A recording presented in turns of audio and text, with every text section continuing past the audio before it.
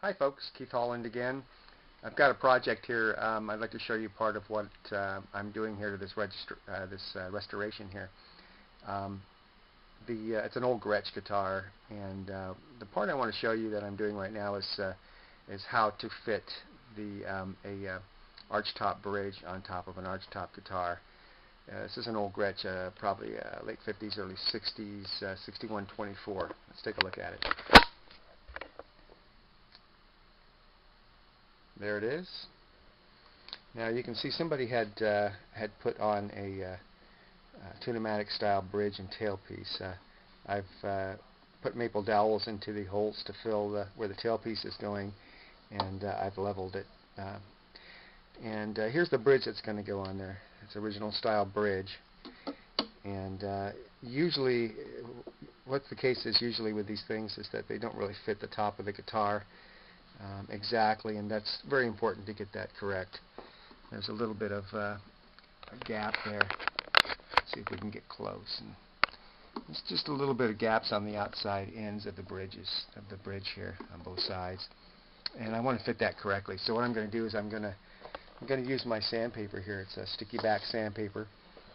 I'm going to place it on top of the instrument here, and then I'm going to sand that bridge down to where it is uh, the same diameter as the top. It fits very secure on the top of that guitar.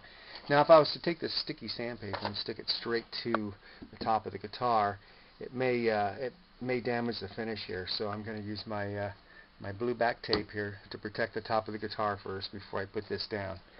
And uh, we'll take a look at that in just a minute. Okay, here's my Gretsch again.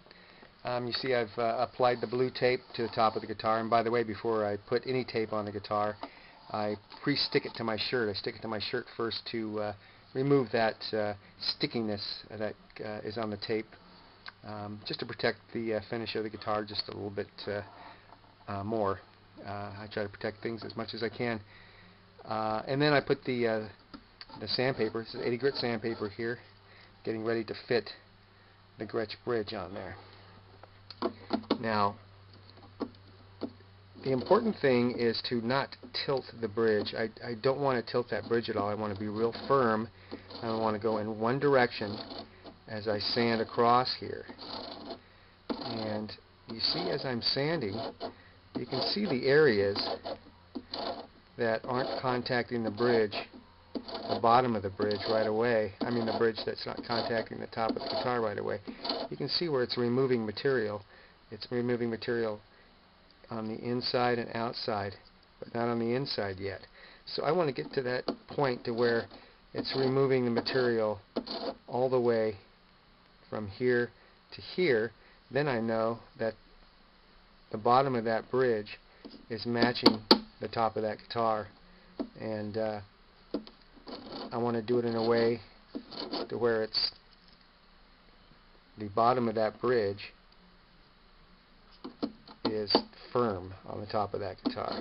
So I'm going to do it slowly, take my time, and watch what I'm doing. Every once in a while, look at the bottom of that bridge, make sure it's fitting correctly, and make sure it's not rounding off on the bottom uh, to be real firm. And uh, that's what I'll do, and that's how you fit a archtop bridge to an archtop guitar.